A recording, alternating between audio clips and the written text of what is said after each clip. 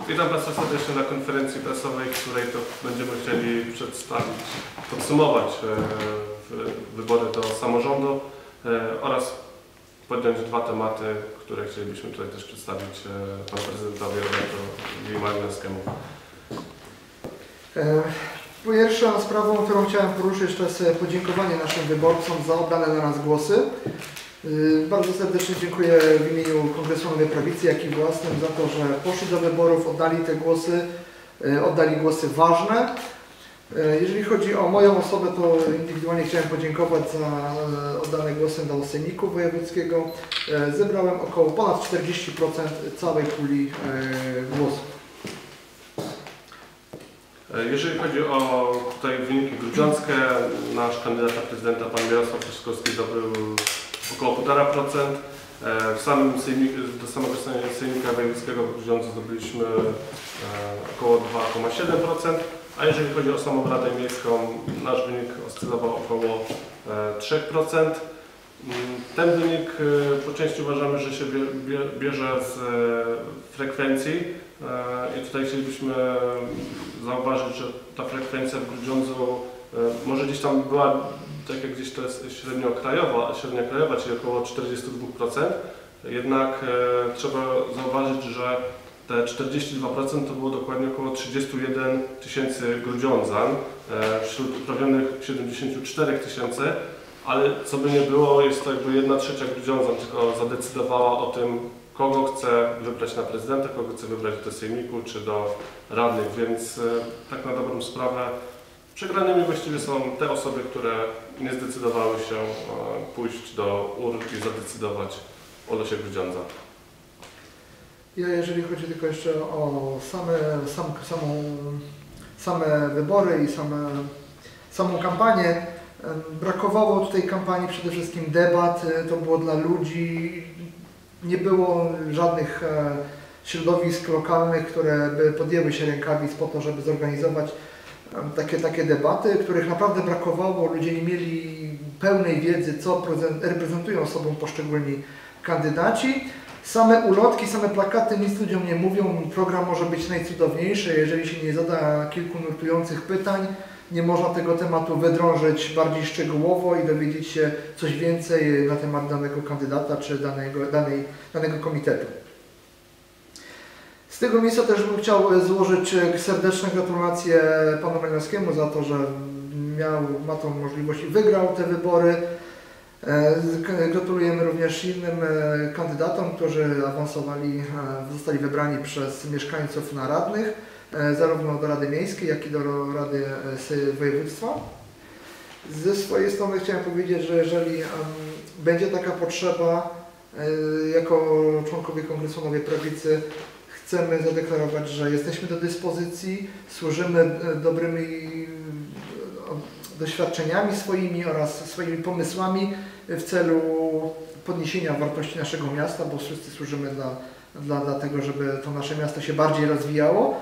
Stąd e, myślę, że warto by było kiedyś usiąść i, i na ten temat porozmawiać i przynajmniej zobaczyć, co mamy do zaoferowania.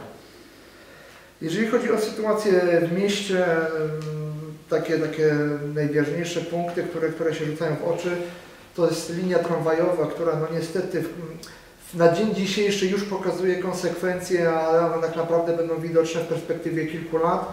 Jest to upadłość wielu małych podmiotów gospodarczych, które są motorem napędowym tego miasta. Na dzień dzisiejszy tego jeszcze tak mocno nie widać, a dopiero będzie wychodziło e, za kilkanaście miesięcy, za kilka lat, kiedy, kiedy nie będzie właściwie pracodawców w Grudziądzu i zostaną pojedyncze duże korporacje, o ile one jeszcze będą, myślę, że raczej tak. I, I to będzie wszystko, co w naszym mieście zostanie. Jeżeli chodzi o Grudziącki Park Przemysłowy, również mam wrażenie, że tam się nic e, nie wydarzyło specjalnego, można było już coś zrobić więcej. Oraz e, wydatki inwestycyjne typu marina, no to nie jest coś, co, co jest e, dobrą przyszłością dla miasta. E, Wydaliśmy dużo pieniędzy jako miasto. E, Ładnie to rzeczywiście może i wygląda, ale jest to na dzień dzisiejszy niefunkcjonalne i na dzień dzisiejszy jak ponosimy jako miasto tylko koszty. Ale żeby nie pokazywać i nie wytykać tylko błędów, które gospodarz miasta popełnił, e, chciałbym powiedzieć, że można zrobić też wiele rzeczy inaczej, tak? Mamy ku temu jakieś propozycje. Między innymi takie, że jeżeli e, do Górnickiego Parku Przemysłowego sprowadzimy poważnego inwestora, jakąś dużą firmę, fabrykę najlepiej, która uruchomi tutaj, e, będzie chciała uruchomić tutaj swoją produkcję, spowoduje to, że mieszkańcy zdobędą pracę. Jeżeli zdobędą pracę, to spowoduje to, że wydatki socjalne w mieście spadną. Z drugiej strony wpływy z PIT-u wzrosną do budżetu miasta. Z trzeciej strony będzie miasto mogło zrealizować bardzo fajny punkt, czyli obniżyć podatki dla e, przedsiębiorców, jeżeli chodzi o nieruchomości w pierwszej kolejności, e, co spowoduje, że ci przedsiębiorcy, którzy zaoszczędzą pieniądze na podatku od nieruchomości, będą mogli znowu też za, zatrudnić jakieś poszczególne osoby. Niedawno rozmawiałem z kilkoma takimi drobnymi przedsiębiorcami, którzy mówią, że to są pieniądze rzędu 4-5 tysięcy i na pewno jeżeli byłoby takie zwolnienie, chętnie by zatrudniły kogoś do pracy. Zakładając kilkunastu takich przedsiębiorców, mamy kolejnych kilkanaście miejsc pracy. Pokazuje to tutaj tylko ewidentnie, że miasto nie może funkcjonować typowo jako przedsiębiorca, jako, jako, jako, jako korporacja. Może jakieś tam wzorce czerpać, ale nie tylko kierować się tym, że e, działa typowo jak korporacja, z tego względu, że zabiera też chleb firmom, które funkcjonują na rynku. Także w związku z tym apeluję o to, że, że chętnie byśmy spotkali się z Panem Prezydentem, przedstawili swoje pomysły na funkcjonowanie. Pan Prezydent będzie mógł e, zweryfikować to ze swoimi planami i zobaczyć, może mamy na tyle wartościowe pomysły, że można by coś z tego wykorzystać w perspektywie kolejnych czterech. Chcielibyśmy jeszcze tutaj zaapelować do prezydenta Roberta Majnowskiego. W swojej kampanii podkreślał wielokrotnie, że chciałby bardziej nastawić się na e, rozmowy z mieszkańcami, żeby być bliżej Grudziądzan. E, chcielibyśmy zaapelować, żeby e, pan prezydent rozważył pomysł obywatelskiej inicjatywy uchwałodawczej, e, żeby obniżyć ten próg, jaki trzeba, e, ile trzeba zdobyć głosów, aby móc taką uchwałę przedłożyć e, Radzie Miejskiej. W chwili obecnej Grudziądz jest jednym z czołowych miast w Polsce, gdzie ta liczba jest najwyższa, bo obecnie wynosi to 5 tysięcy mieszkańców przy no, ponad 90 tysiącach y, Grudziądzan.